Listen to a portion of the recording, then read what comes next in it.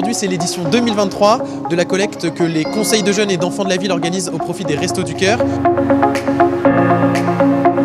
On est présent avec les jeunes, avec les bénévoles et avec les élus dans 9 magasins de la ville. C'est un de plus que l'année dernière pour collecter encore plus de denrées pour ceux qui en ont besoin.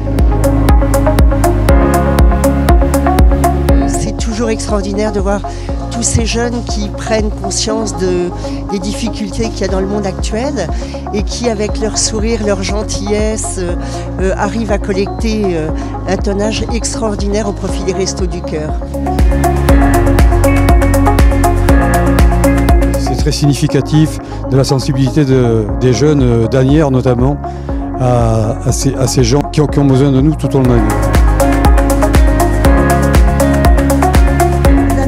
L'air d'être euh, bien motivés, sont généreux, ils savent que c'est pour une très belle action. Je pense qu'on on, on voit, on sent et on entend qu'il y a une vraie misère qui monte. Donc euh, oui, oui, je pense que c'est vraiment nécessaire.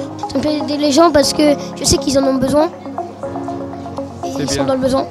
Je trouve que chaque année, les Aniérois sont de plus en plus généreux, malgré cette période de crise.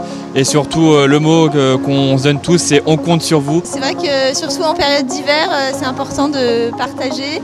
Et donc euh, c'est vrai qu'en faisant ses courses, une boîte de conserve euh, ou autre chose pour les autres, euh, c'est- ça fait pas de mal et ça fait du bien pour les autres. Chaque année, on, a de plus en plus de, de- de volumes euh, qui sont ramassés, donc ça prouve que les gens sont toujours présents, et les Aniérois en particulier. Agnières, ville solidaire. Agnières, ville solidaire. Agnières, ville solidaire. Agnières, ville solidaire. Aujourd'hui, on n'a plus le droit ni d'avoir faim ni d'avoir soif.